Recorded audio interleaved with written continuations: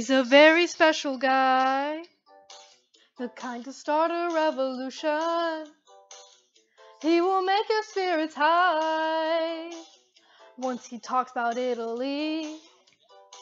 He's using young Italy to make his message even clearer.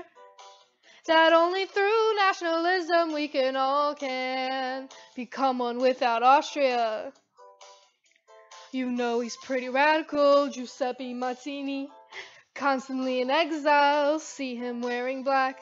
Writing King of Piedmont, get that constitution. You know he's really passionate, failing can't stop him.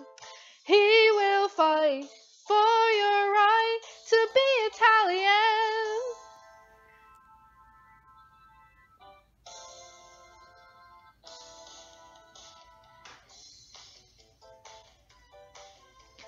Mazzini, Mazzini, he's a nationalist.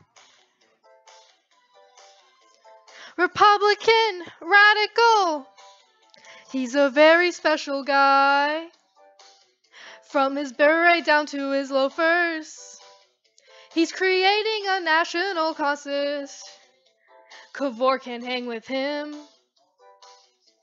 His revolutions usually failed but he inspired the people when he's using riding guns and cigars. It's such a romantic scene. See, Albert wants him dead. Giuseppe Mazzini wants Austria out of here, justifying murder. You can't kill an idea. Italy must be unified, using lots of martyrs. This is going on. Giuseppe Mazzini, that guy's alright with me. Yeah.